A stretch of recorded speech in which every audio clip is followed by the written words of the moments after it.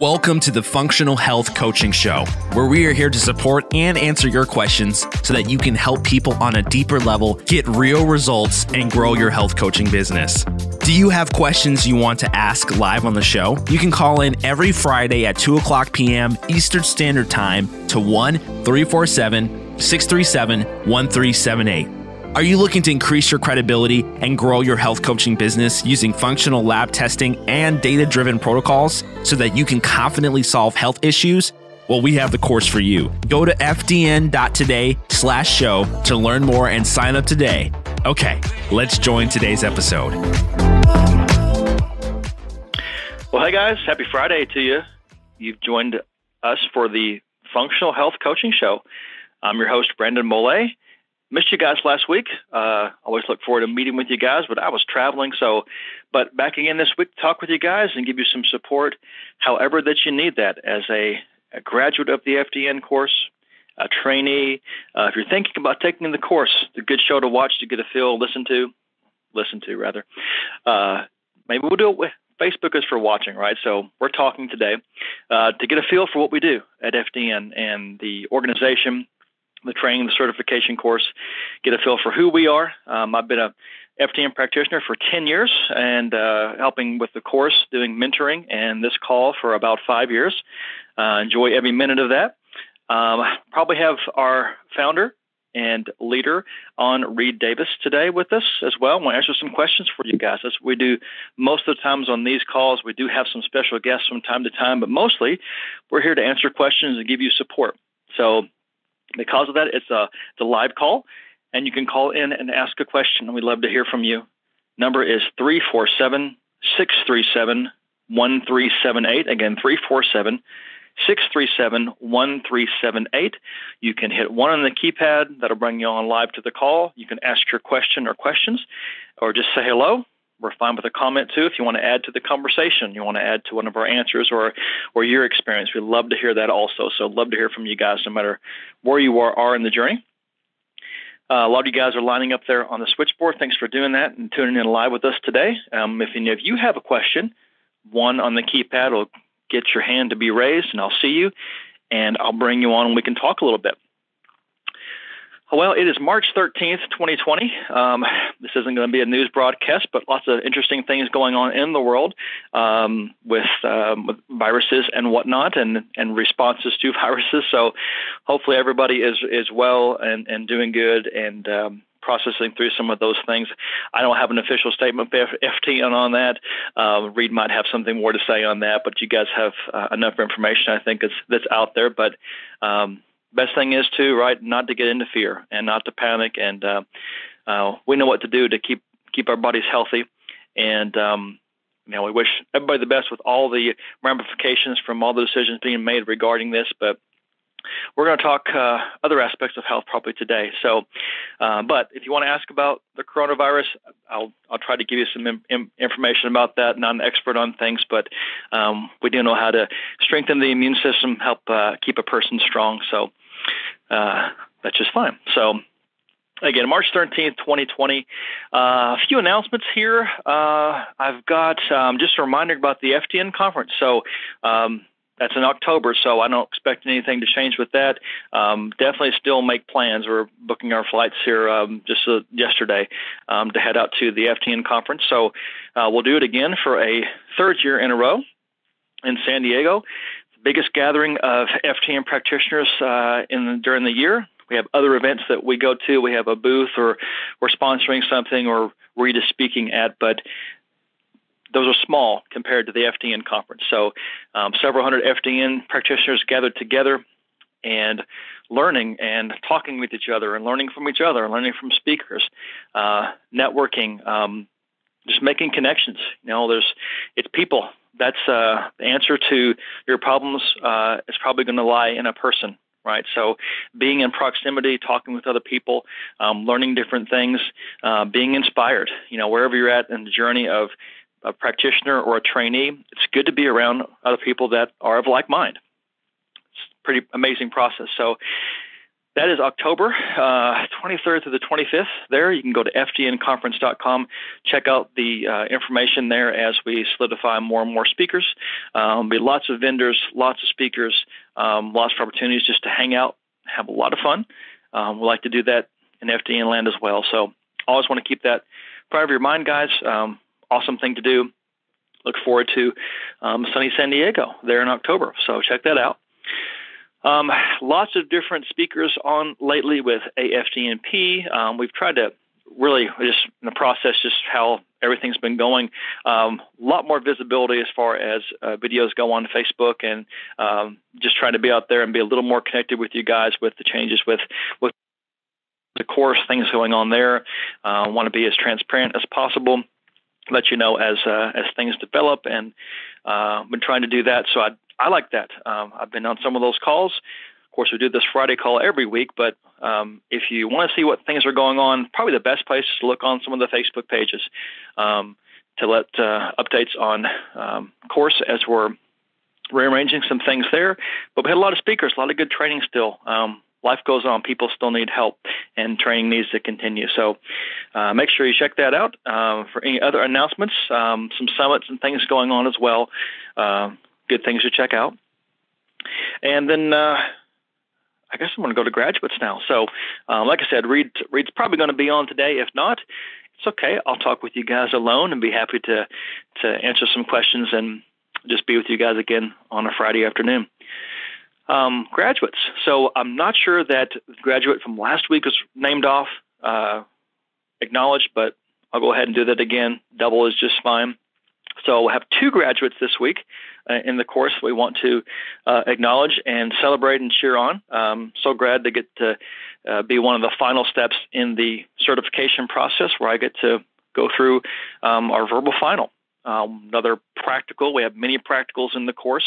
Um, those help you to practice what you're learning, right? So you can answer questions, multiple choice questions, and essay questions. You can do those things well, but if you can't communicate with another person, when it comes to their health and things that we do, um, it's not going to it's just impossible. You've got to be able to do that right. So doing those practicals allows you to practice that, work out some of the kinks, get better and better, find out where you have your strengths, where you have some weaknesses that you want to shore up. So practicals are a big part of what we do uh, in the course. And of course, I get to do that last verbal final uh, practical there and have a great time with that. It's bringing together all the things that you're learning, tie up some loose ends, and then of course celebrate when you when you pass and you get to be certified as a practitioner. And we don't hold you back from going out there and helping people. It's a very quick process from hey, congratulations, you've you made it uh, to running labs and working with people. And most people have clients waiting to test. Either they've got an established practice where they have people that uh, want to test, um, or they've already been out there actively. I think it's just fine to do this marketing their business already, talking about what they do. They're already out there doing that, so people are just waiting to run labs and and to be helped.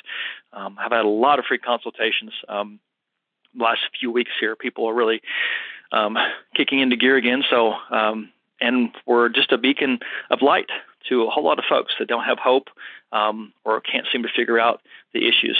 And um, I get uh, often on my contact form on my personal website there, um, something to the effect of at the end, please help me. And uh, boy, that just that tugs at my heart. Probably does you guys too. So if there's desire and there's a will, um, there's a way and there's answers, and that's what we get to provide as practitioners. So that gets you excited, gets you up in the morning. It does for me. Who do I get to to impact their life today? And that's not just a cliche. That is truth of, of what we get to do. So that's where our two graduates here, Grace and Connie, are heading into here um, uh, as days to come here. Uh, so last week was Grace Soma from Milwaukee, Wisconsin, just a few miles from where my where my dad's family's from.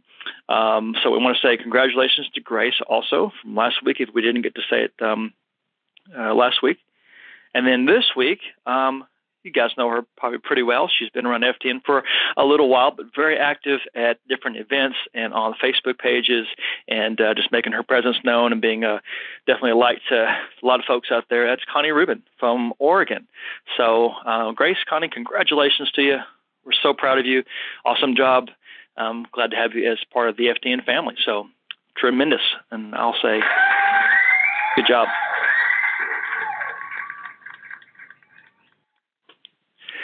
All right.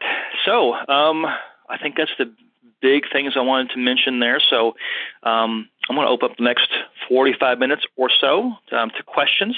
Uh, pulled some from Facebook pages. Some of you guys have sent in, so I'll go through some of those too. But definitely we'll open it up to live calls at this time. So if you guys want to call in and talk, if you're listening maybe on Blog Talk, want to dial in, you have to dial in. Uh, so pick up your phone, 347 637 1378 is that number. And again, hit 1 on your keypad. I'll see that you want to come on, and you're welcome to ask a question and get an answer. All right, so I've got the first one here. I've got 703 area code 703. What's your name there? Uh, hello, is this me, the 703? Uh, this is Gracia. Yes, that's you. Oh, okay. Oh, hi, I said maybe there's another 703. All right. Uh, hello, oh, Brandon. I hope I'm pronouncing hey. your name correctly. Um, yes. Again, this is Gracia, and uh, thank you for everything you're doing. We really enjoy and we take a lot of uh, advantage of everything uh, all of you guys are providing to us. Um, let's go to my question, and I'd like to hear uh, your experience and your wisdom on this. Um, there are some people that they keep um, eating wheat and gluten, and uh, when I recommend them not to do that, uh, they tell me that although they have uh, some um, disease, some pathologies, they say that uh, they were tested and uh, um, they don't they are not sensitive to gluten or to wheat. So, what would you recommend me? How can I approach them? How can I try to explain them not to do that? Thank you. Hmm. Good question there. Interesting one there. Uh, I think we've all uh, been there a little bit, but yeah, good to hear from you, Grazia. Thanks for, for calling in. So, um, okay, so um, scenario there would be that um, whatever testing they've done um, is not showing reactivity to gluten. But I guess you're saying that just probably statistically, it may be good practice pulling out gluten out of their diets going to be a recommendation. Is that sort of the question? Yeah, because for example, as you know, even if they are not uh, sensitive to gluten or to wheat, especially I have problems with wheat, people say, oh, but I'm not sensitive to wheat. Um, but uh, I try to explain them the villi story, uh, you know, uh, intestinal permeability and stuff like that, that wheat and gluten cause. But besides that, I don't know what to say. Of course, I, I cannot if the person is not ready, I cannot convince them. And, and I'm not trying to convince, I'm trying to help them not to have uh, more health issues. Uh, but again, right. uh, besides saying, okay, when you're going to get sicker, then come back to me, which is quite rude, of course, I don't know what else to say. gotcha. Well, I, I don't know. I think I would my immediate reaction there is I think it sort of falls in with any other um, stressor on the body. Now, it could be a really big one that's making a big difference. You feel like that it is, but um, you know, not every client is going to be 100% compliant um, all the time. Um, mm-hmm. So, if that's still something they keep in their diet, but they're doing everything else really well, I think mm-hmm. they're probably going to see improvement.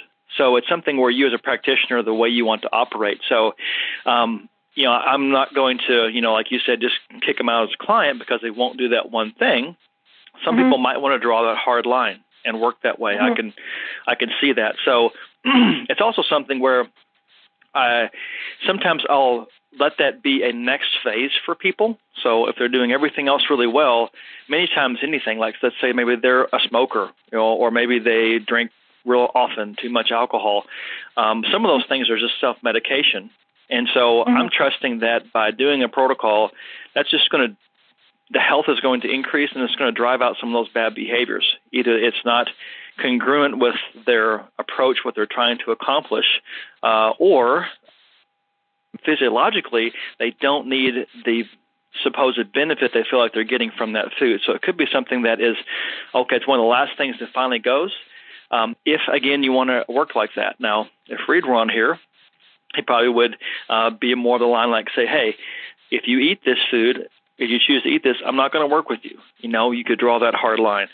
Um, so, especially if you have lab testing, um, you know, I could say, yeah, draw that hard line. Um, if mm-hmm. you don't have lab testing or they have testing that shows they're not reactive, maybe you can make a compromise there and say, hey, would you go gluten free for you know two weeks or three weeks? Let's see how you feel.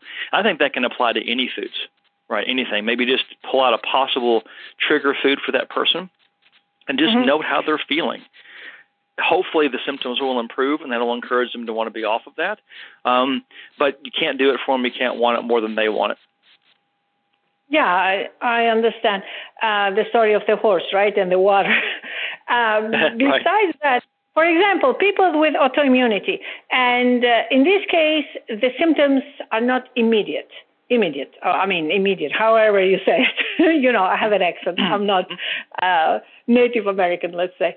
Um, I'm Italian. And, um, and they don't see immediate, uh, uh, now I pronounce it properly, um, results. Uh, so I would think to propose them at least for three months to be gluten free and wheat free, et cetera, mm-hmm. et cetera. Uh, mm-hmm. and of course, that includes oats because a lot of people think that oats are, are, are fine because they think that they are gluten free. Well, they are not because they contain gliadin, and gliadin is a type of gluten, right? Yeah. So if you have an auto a diagnosed autoimmune condition from the doctor, mm-hmm. I'd say that would be hopefully a lot more weight to say, okay, gluten free is probably where you're going to go. If somebody is dealing with autoimmunity, then it's 100%, no matter what mm-hmm. any test shows, really mm-hmm. gluten free and dairy free as far as what I would recommend to a client. Let's just let's to give your body. I, I I approach it this way: just let's give your body every chance we can for it to mm-hmm. function well. Why wouldn't yeah. you? Why why are you coming to me? Why are you spending this money? So, I would I'd put it put it that way. If you want to yeah. feel better, let's yeah. just do this. So, uh, yeah, that's, that's a tough one there. Um, hope, hopefully, we don't deal with too much, too many issues with client compliance. That can be very, very frustrating um, for you. I think as a practitioner, um, uh, and hopefully, hopefully we can vet those people. You know, before they start working with us, to sort of know what's expected of, of them. Um, being yeah. a client of yours, um, uh, mm-hmm. so maybe establish those things early on. But at the same time, I'm not a person who's just going to totally give up on that person. Maybe they'll come around. Uh, maybe they need some education. Maybe you can share some some some videos or some materials with them that they might want to read and, show that hey, statistically, here's what we see. Um, yeah, I think there's different ways you could handle it. All right. Thank you so very much for your time and for your wisdom yeah. and uh, everything uh, you provided to me. I don't want to take much more of your time because I'm sure other people are waiting. Have a great day. Thank you. And Thanks, Wonderful Good to hear from you. Appreciate the call in. You too. Very good. Yeah, patient compliance that's, or client compliance that can be a, a tough one sometimes. Hopefully, those are well established. And um, I just had a conversation this morning with a person that's uh, about to come on and, and work with me, and um, she was pretty open about that. She said, "You know, I, I I know things I need to be doing." And it's usually a question I'll ask folks. I'll say, "Hey, you know, is the timing right? Are you really ready to do this? If I ask you to do, you know, I'll give a list of a few things to do. Is that something you can do? You know, how motivated is that person? You ask those questions there on a scale of, of one to ten. You know, how motivated are you? Because I need, I only work with nines and tens. You have to be to that point. Um, if they're not at that level, it's very frustrating. It's very hard. I, I think it's almost a disservice, really, to bring somebody on to work with you that you know is at a real low level um, as far as um, confidence or desire to to make a change. That's just not going to fit. But but she was being um, uh, transparent with me about you know uh, I, I've been gluten free before. I know it helped. Um, just kind of a situation where I, I, I know probably what I need to do, but I also need the information the lab testing is going to to give me with this.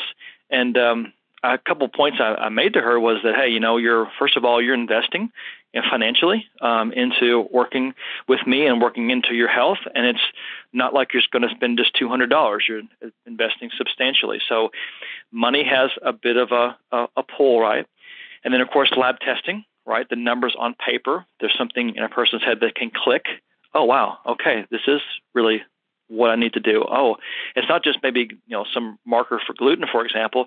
It could be okay that's kicked up your immune system, that's caused some leaky gut that's going on, that's caused an inflammatory response here. I'm seeing it throughout. Here's the ripple effect from you eating that particular food, and maybe that's enough weight to push that person. Um, I think you can also talk to a person about uh, the psychological side of things, the uh, the why before the how is a way I've heard it phrased before. So the how we have no problem lining that out for people, right? That's easy. How do you get healthier? How do you build health in the body? Here's the how. The why. Go back to the why. I asked that on my intake forms. Why are you doing this? How is this holding you back in life? You're going to have that conversation in the beginning, but I have them write it down as well. And sometimes I'll go back to that. So you just said that you know you are missing days of work uh, because you're sick and you can't get to the level that you want to get to, and that's very frustrating to you. And you're not there for your family like you want to, and you're irritable, and you can't enjoy a meal or whatever their motivations are. That's really what the business that we're in is trying to help them achieve those goals. Ill health happens to be in the way of that, so we're trying to help them with that part of it. So, you know, everything a person is going to do, directly or indirectly, is going to be tied to the level of health. Period. And so, it's always a good um, thing to be focusing on working on. So, investment of money is one motivating factor. Second thing is actual numbers on paper, and you weaving that story together of the the connecting of the dots and clinical correlation super, super powerful things. You use those tools every single time that you can during a session. Those two things. And then hopefully, um, your programs you've put together as a practitioner, you have some sort of regular check in and some coaching sessions, if you want to call it that, where you're checking in with that person on a regular basis. I've done the opposite. I've done it where I'm very, very hands off. Results aren't as good, right? Because, first of all, there's a level of accountability. We all need that. Um, I think really, I think my wife provides that for me uh, quite a bit. We all both keep each other in check. Um, I think um, seeing my daughter every day provides some level of accountability. Um, seeing my clients every day is some level of accountability for me. So I don't want to be tired or sick or in a bad mood uh, for any of those people in my life. So there's an accountability side of that that I'm trying to be, and this is for other people's benefit as well as mine. So there's an accountability that comes with coaching uh, regular meetups. I do every two weeks. That's a good uh, sweet spot for me. Every two weeks. Um, so you have the accountability. You also have the support, right? You know, things things can get tough.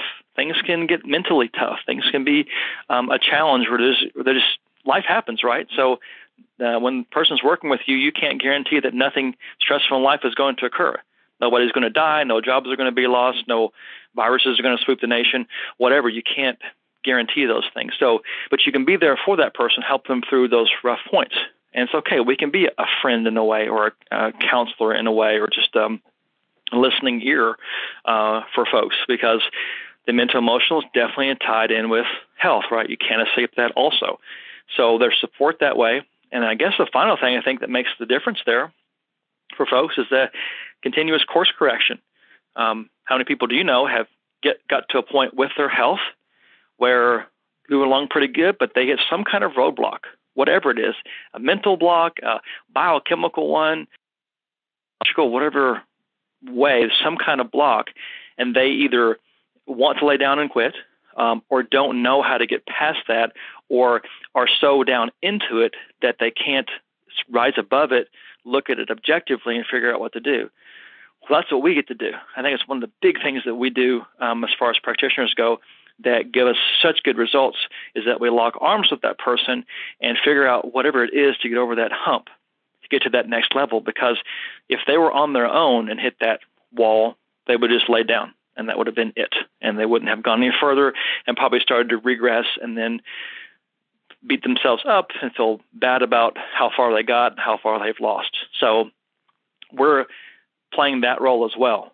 Um, I feel like it's critical. We've added more and more coaching um, and uh, case management to the course because of that aspect of things. You know, um, yeah, we used to be mostly a course just on how to interpret labs and put together a good DRESS protocol, but it takes some more than that for a lot of people, right? So um, there's the mental emotional side of of those things. Um, so that's usually what I talk about with folks that are um, kind of on the fence, but most of the time we don't even get to that part of the conversation if they're not, I can tell, already committed, understanding what we do. But everybody needs to be heard, go through their story, ask those eight questions, and uh, make sure that person is going to be a good fit to work with you and that you can help them and that everybody's going to be mutually benefited from the relationship. That's what you want, right? It's not just, oh, I got a client, but they didn't follow through with it. Who cares? I hate that big time. I think you guys probably do too. Um, so we do everything we can to prevent that. We don't want to lose one. We want everybody to be as healthy as they possibly can and teach them how to fish instead of just giving them a fish. And hopefully, those lessons you teach them will last a lifetime and, and feed over into their family's life. All right.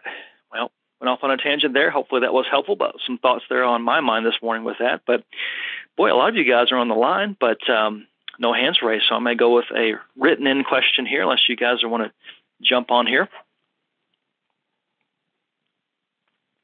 Got about 30 minutes left in the call today, so plenty of time for some questions. So I'm going to pick one off the list, and we'll talk a little bit here. So, um, here's one I wanted to go through.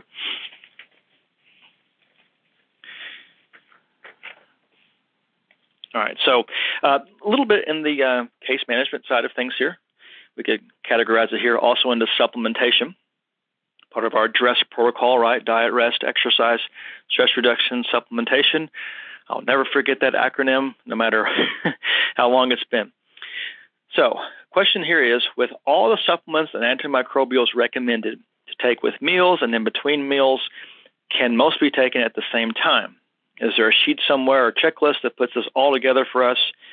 Um, or you, you, when you're trying to address hormone imbalance, gut dysbiosis, bug support, or should we put one together for our own clients? Um, and they list an example here of um, different supplements here that they had laid out for a client.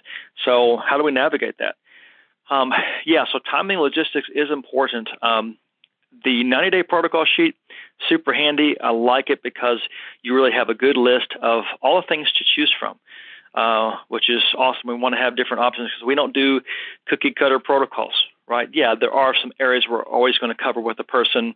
Generally, that's you're going to be seeing based on lab work, but every protocol of mine is is different. I don't think I've ever done, you know, copy or duplicate and here's your protocol. That just never happens because everybody's biochemically individual. Um, that's why we have such good results, right? So, um, definitely there are going to, to vary quite a bit from person to person. And that 90 day protocol sheet is nice because you use that as a memory jogger. So, okay, here's the areas I really need to focus on, making sure I'm hitting all the, the, the basic systems and components of the body to make sure everything is going to work um, as effectively as possible. Um, so, that sheet's nice, but it can be a little bit overwhelming, even if you do hide the individual lines or rows and just show the supplements you want that person to take. So something I did uh, years ago personally, and I think I uploaded a base document for that within AFDNP. I think documents there. So if you're a member of AFDNP, you can grab that. It's nothing fancy, but it does work. Um, I started doing a table um, that's based sort of on time of day. I felt like that was the most effective and helpful for people, especially if there's a lot of supplements or, you know, not every client comes to us with um, perfect focus and perfect brain function. There might be some brain fog. People forget about things. So, um, putting it in a table there based on time of day, what allows you to do is to see whether there is some issue, some overlap. If you're saying, hey, I want you to take some biocidin and your support biotic uh, at the same time well, shoot, that's not going to work right because you don't want to be killing off the good bacteria that you're putting in there. So that's a, a combination you don't want. Um, also, you want to factor in uh, a person's on prescription medication.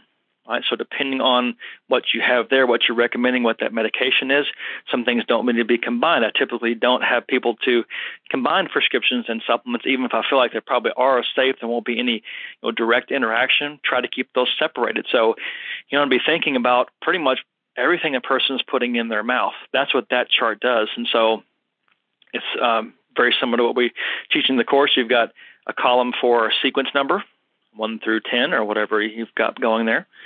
Then you've got a column for the supplement name.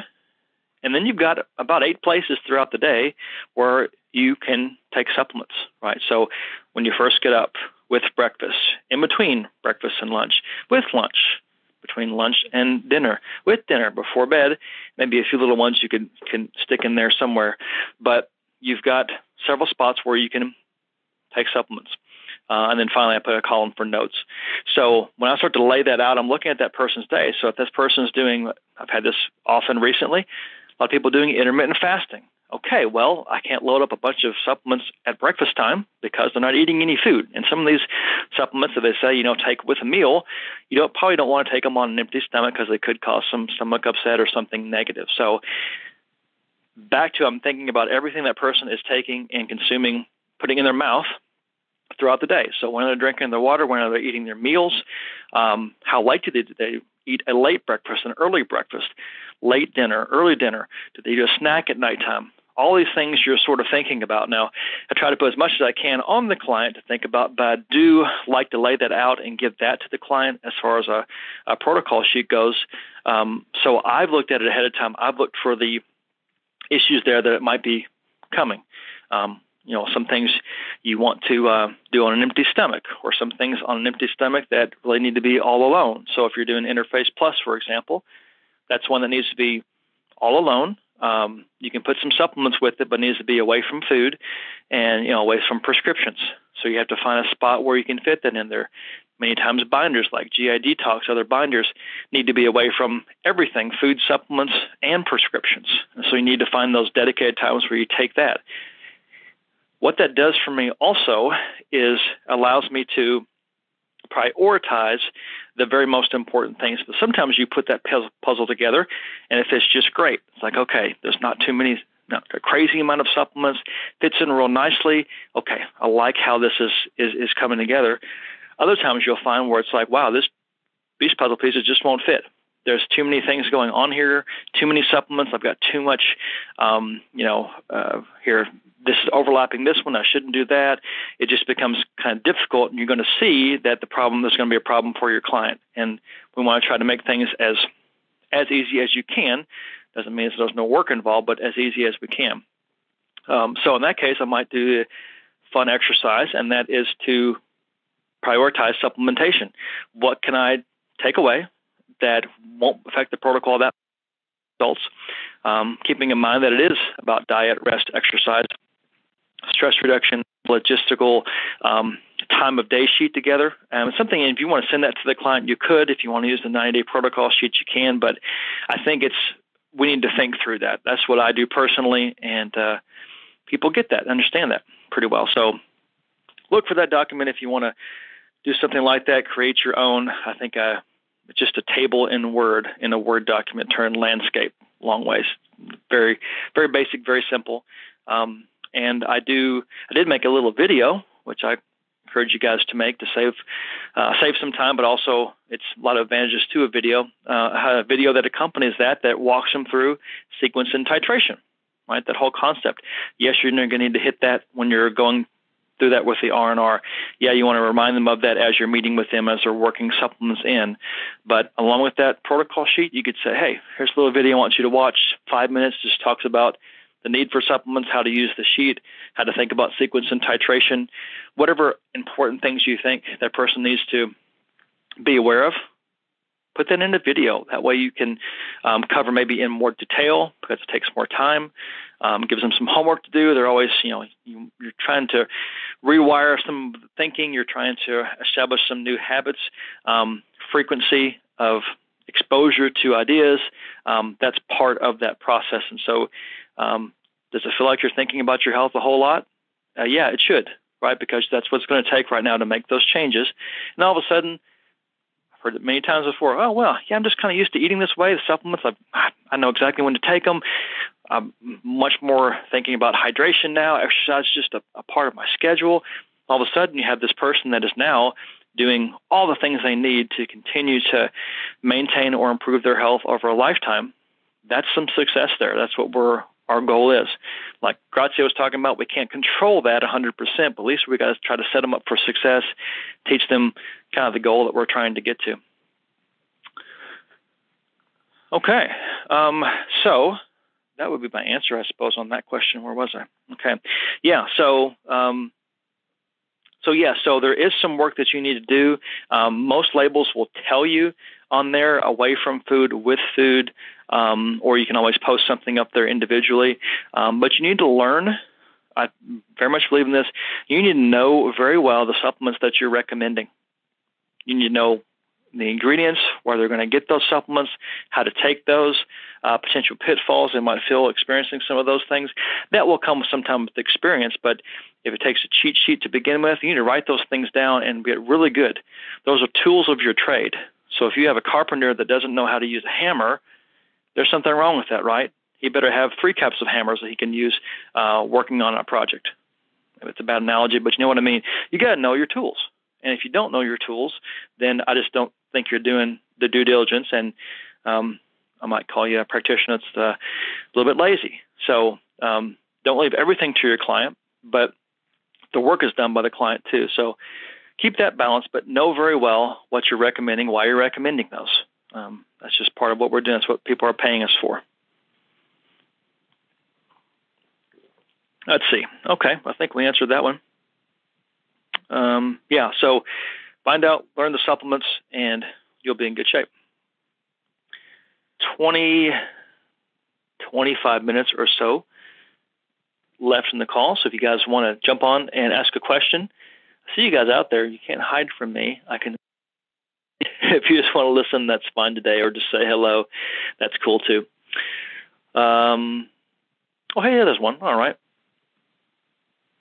All right, I got 306 area code. What's your name? 306. Hey, Brandon, it's Brandy. I thought I'd call in and help answer some questions with you today. Well, thank you. I thought that voice sounded familiar. Thank you, thank you. Hey, Brandy. Welcome, Brandy. Everybody, Brandy Biscow. You know her. She's all over the place, and she's doing an amazing job. Um, with, I don't know what you don't have your hands in there, Brandy, but thanks for being on the call with me. Awesome.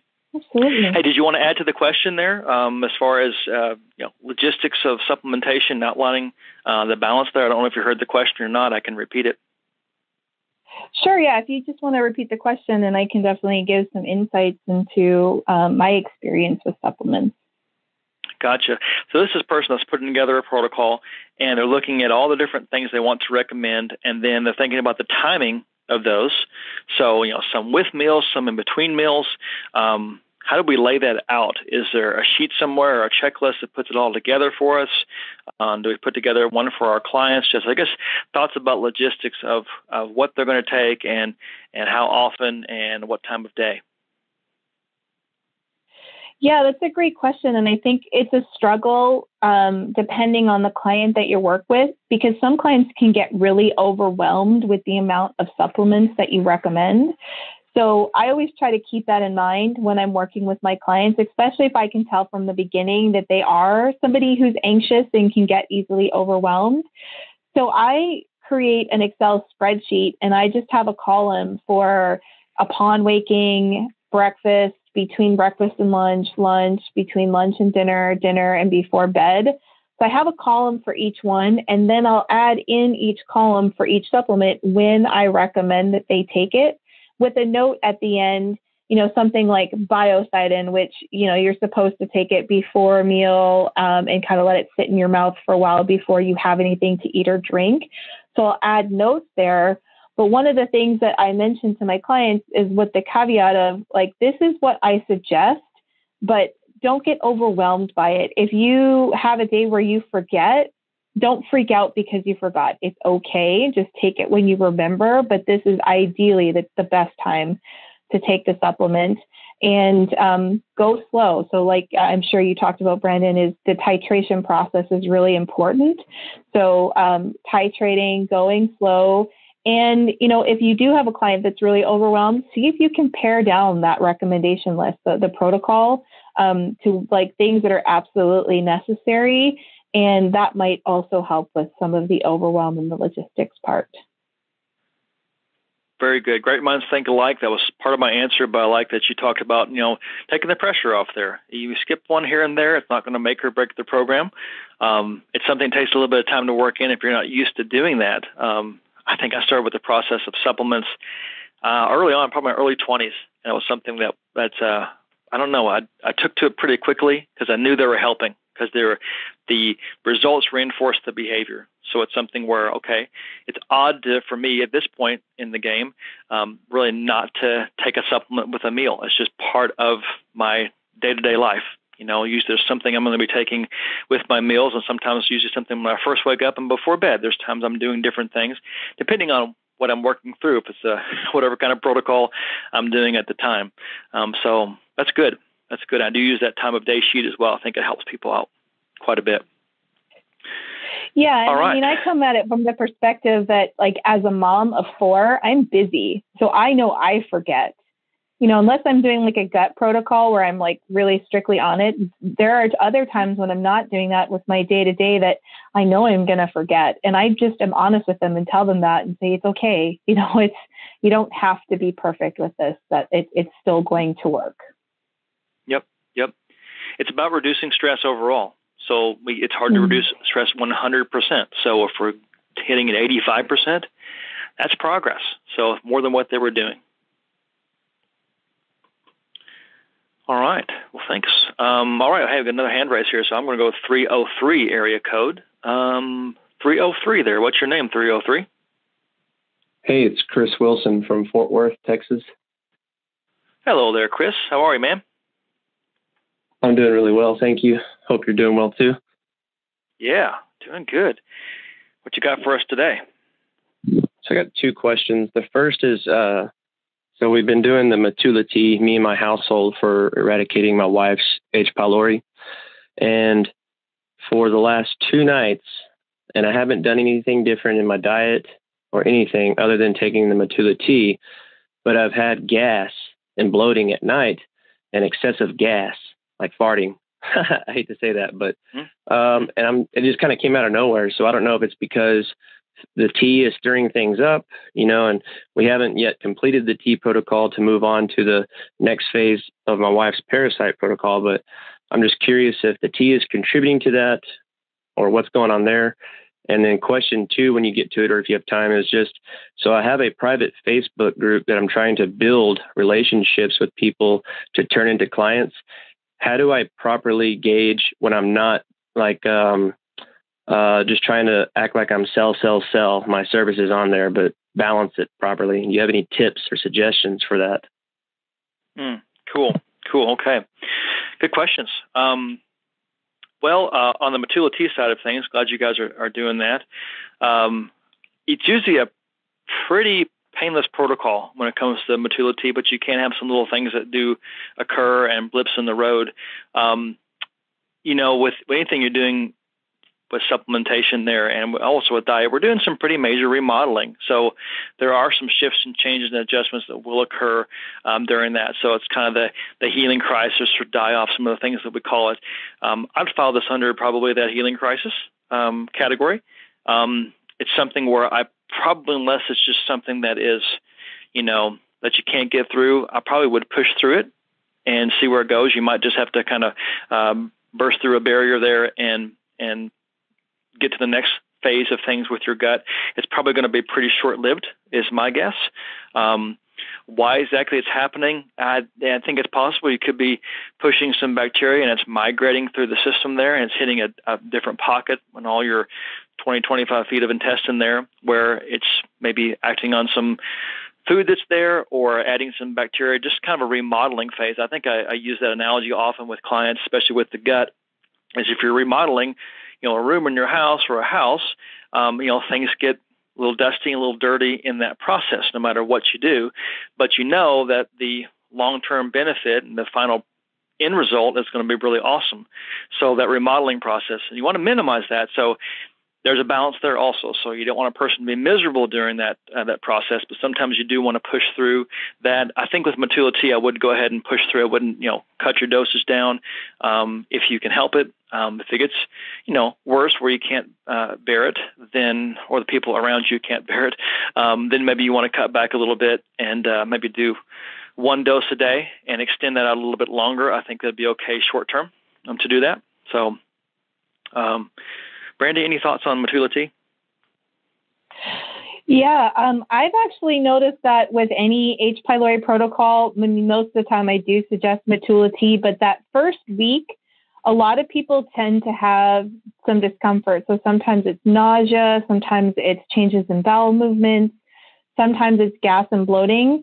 And almost every time, I, I kind of just let my clients know that at the beginning, like expect to have a little bit of discomfort in that first week. But once you get past the first week, um, like you mentioned, Brendan, things start to kind of restructure themselves and, and your body starts to figure out what's going on. And a lot of those symptoms start to subside. So um, I've it, historically with my clients seen that that's pretty normal at the beginning um, when you're starting to work on H. pylori. Mm. Yeah, it doesn't want to go quietly, does it? H. pylori uh, can can be that way, but uh, boy, it's one that if I see it there and symptoms definitely are uh, clinically correlating, then um, we're going to go after that and make a big change. So, so hopefully we can make it through there, Chris. Um, and then on the Facebook uh, uh, private group thing, uh, and turning those into clients, having balance there to it. I don't have a lot of experience personally doing that. I've kicked around the idea there before. Um, to do that, I think it's a cool way to engage and ask questions. And sometimes even in like Facebook Messenger, you start to have a little bit of a conversation on things. So um, it's kind of fun to do. Um, uh, have that um, dynamic going there.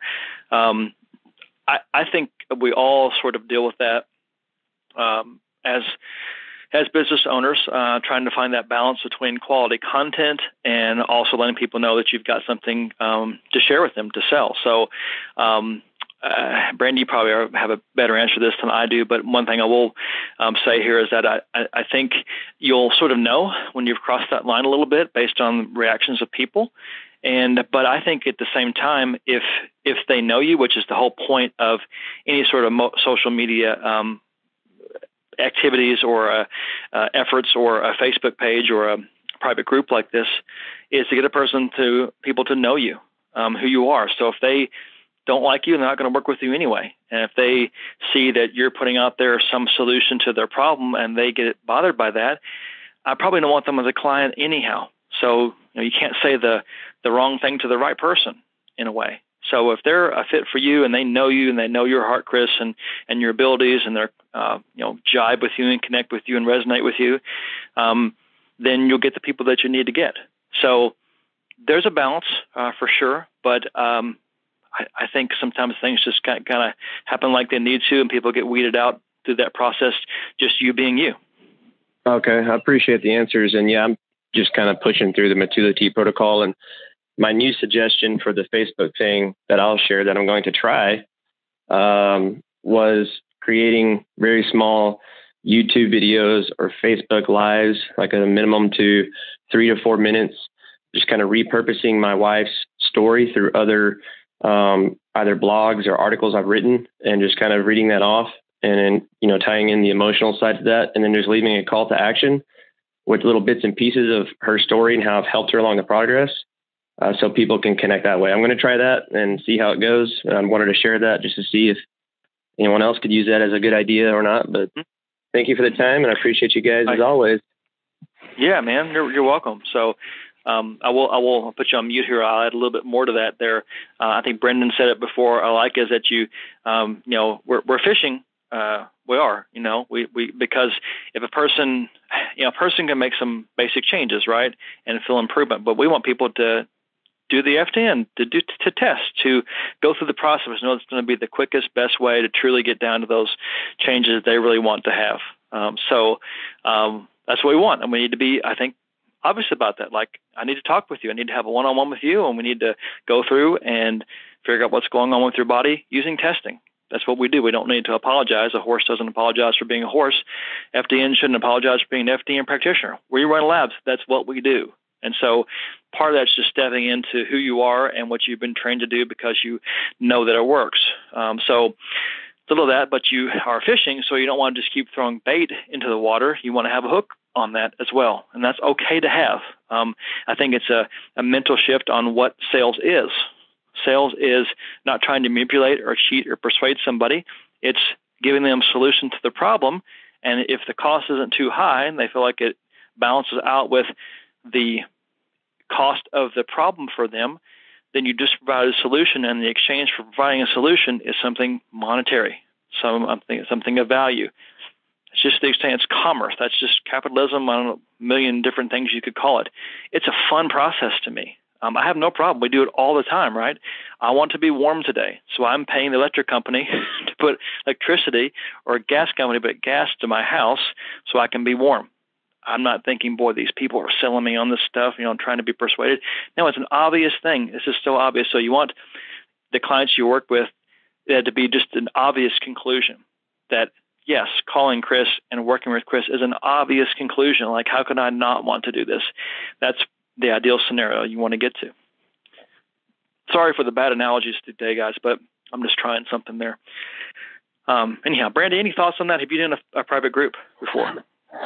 So I don't personally have a private group, but I have worked. Um, I, am on a team with another coach who um, specializes in infertility, and she has a group. Um, and one of the things that I found that really works there is really watching the type of questions that people in your group are asking, um, because that's going to really tell you what kind of content they're looking for. So, um, Chris, you mentioned like doing some Facebook Lives or YouTube videos. Like that could be an opportunity where you could just say, well, I'm going to do, you know, every Friday, I'm going to hop on and do live and it's a Q&A and ask me your questions. And you could like, you could have subjects for each of those lives based on the discussion or the questions that you're seeing in your group so that you're providing them with information and education, but then also not giving it away. So you may feel like you're repeating yourself over and over and over again, but sometimes people need to hear that information several times before it actually clicks and they're like, hey, I get this. Okay, I want to hop on a call with Chris and, and I want to learn more how to do some coaching with him. So, um, you know, I think I've heard other coaches, successful coaches like Kendra and, and people like that say that like you you're gonna feel like you're repeating yourself a lot um, but it sometimes takes people or your audience to hear that several times before it really starts to click. Um, and then they're ready to jump in. And maybe some of these people aren't quite ready yet to jump into a coaching program, but eventually they may be. So just keep giving them good co- content, sharing your story, listen to what they're asking for, and see if you can give them some education on what they're asking for. Good stuff. Awesome. All right. Well, eight minutes left in the show, guys, and we've got another hand raise. We'll see if we can answer your question fully here. So, 406 area code. What's your name, 406? Hi there. This is Avery. Hello, Avery. How are you? Doing well. How's things in your world? Great. Great. It's a kind of a cloudy day in Hawaii, but pretty good, I'd say. oh, don't go there. oh, that's. Um, I'm teasing. I am glad you're in Hawaii. Question. Yeah, me too. Um, remember what your response was. Um, so Reed is always saying um, in the first 90 days of the program of the protocol, uh, no sugar, no alcohol. Um, and I'm just wondering, like, when he says sugar, does that count is that only like refined sugars, um, or is it fruit sugar, carbs, um, or is it more like based on person to person? Um, yeah, I guess that's that's it. Hmm. Gotcha, gotcha. Good question. Yeah. So, yeah, uh, kind of a hard line there that we toe uh, on that. I think it's really good advice. Um, so I'm going to say that that um, the sugar there is going to be more on the refined sugar side. Um, but like you said, a little bit case by case. And so if you have um, other information on lab testing or based on symptoms there um, that points to that they don't do well with any much sugars at all. So maybe there are a protein type and metabolic type. So a lot of even fruit sugar or honey or maple syrup or um, things like that, they may not do very well with, may not be beneficial. We might you know extend that out and say, you know, limit the sugars at all, limit the the sweet sweetened carbohydrates caloric sweeteners. Maybe we need to limit those. That's possible. I think, in a minimum, you pull out the white sugar, uh, 100%. I don't think that's good for really anybody.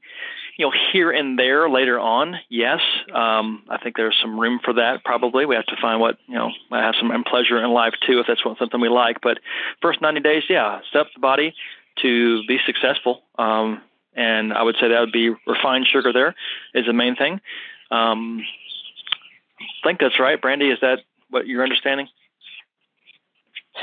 Yeah, I uh, kind of also gauge like what the client is coming to us with. So if they're eating the standard American diet and they're eating like soda and you know lots of refined carbohydrates, they are going to struggle a little bit. So you may want to take some baby steps with them and maybe you know have them cut out one thing at a time so that you can go slowly or you may have the client that comes to you and they're already eating pretty pretty clean, you know, and you know they're they could take it or leave it. Like they don't really care if they have, you know, any sugar or honey or whatever the case may be. I think it just depends on the client that you're working with. And I mean, ideally, we'd have them do it 100% of the time, like all sugars, but it may not be feasible for everyone. So just gauge, you know, how your client is. And if it's going to overwhelm them to take out all sugars and have them constantly obsessively reading labels and stress them out, then take that into consideration as well. Mm-hmm. All right. Perfect. Yep. Yeah. Very good. That awesome. Avery, thank you. My question. Yeah. Awesome. Thank Thanks you. for calling in. Enjoy the weather. Thank you. Have a great day. Thank you. uh, and be ready a little bit for possibly um, a little taking out sugar and not feeling very good, right? So a little bit of a healing crisis that occurs just by taking out bad stuff. That happens a lot. Coming off caffeine, sugar, gluten. Um, it's not always, oh, I feel so much better. You could feel crummy for a few days or a week even because your body's coming off of that drug in a way. So um, be aware of that. Um, tell people that could happen. It's not a bad thing. It's probably a good sign. So uh, one more hand raise, and this area code looks very familiar. So I'm going to say hello to 858. Yeah, it's me. Hey, Brandon. Yeah, that's so. Hey, Reed. All right, we're doing good. Hey. Randy's here too. Yeah, good show, good show. You guys, um, right on, right on target. Um, just on that sugar, you know, sugar is white death. I mean, it really is really bad for you. It's as addictive as cocaine, and it's not good for anybody. It's one of the few foods, as Bill Wolcott says, there's no one food that's right for everybody, but there are some things that are wrong for everybody, and sugar is one of them. It just it screws with uh, carbohydrate metabolism. You know your um, insulin levels and things, and it just people always just want to jumpstart a program, get get off sugar and alcohol for 90 days. That was always part of our original plan. Um, and I just want to say, as you're closing here, that uh, things are going well and I'm really, really proud of folks out there actually doing the work and sticking to the FDN principles and ideals. And Brandon, you, you guys, you and Brandy and the whole, whole team, the whole crew, everybody's doing a fantastic job. I'm very proud of you guys. Well, thank, thank you, Reed. I'm glad you jumped on here, and I was feeling that too. I mention, wanted to mention that at the beginning of the call. Um, we, we we talk about you know a lot of these questions and try to help people, but I would say I'm super proud of our group like the work you guys are doing. I get to hear it with medical director consult calls on these Friday calls. We get to see it posted. Um, you guys are doing awesome. So this is you know some corrections, some support, and some help. But man, we've got an amazing Yeah. group. So proud of everyone. Yeah, I got one last thing because the clock's ticking here. We're gonna have to go down, and this is, um, you know, this coronavirus thing. I Tr- Trump, uh, President Trump is going to make an announcement in five or ten minutes from right now. My personal belief is gonna, he's going to shut the government down. He's going to, you know, basically send federal workers home with pay for a couple weeks, and um, you know, I'm just really convinced that's his only move right now in terms of handling this as an emergency and all the, you know, the sum total of what's actually happening with the coronavirus and what's happening politically with the coronavirus. That's what he's going to do. And so everybody, uh, hold tight. Do not be alarmed. You should definitely go out and buy some toilet paper. You know, make sure you've got some necessities. But we're not going to run out of food. You know, the, the supply chains are all in good in good place. But there is going to be some panic because of it. And so that's just my impression. Um, knowing, knowing, you know, knowing Trump and knowing, you know, the, just how things are going, um, th- that's what's going to happen. But do not, we, the absolute best defense for anything is a good offense. I don't care what game you're playing. And in the health game, in the health business, the best defense is a good offense, and that is D R E S S. You want to double down on eating right. Don't eat crap like sugar. And you want to get a good night's sleep. There's nothing better for your immune system than good rest. And not to mention the fact that you detoxify and all these sorts of stuff. You have to move your body and exercise, as you well know and then all these hidden stressors, the, the, the toxicity of the environment. You know, even even just if you think about it, what what transmutes the coronavirus? It's a hidden stressor. Shaking hands, you know, um, keep your hands to yourself. I was told that in fifth grade all the time. but but but uh, you know what I mean. Like keep keep your hands yep. to yourself. Keep them washed. Don't sneeze on anyone. If you have any symptoms, sequester yourself. Matter of fact, you know, kids are going to be home from school. Like right, as soon as he shuts down the government, it's going to happen in 10 minutes. Uh, you know, all the schools are going to close. Everything, the states are going to follow suit if they haven't already. And um, everyone just, you know, chill.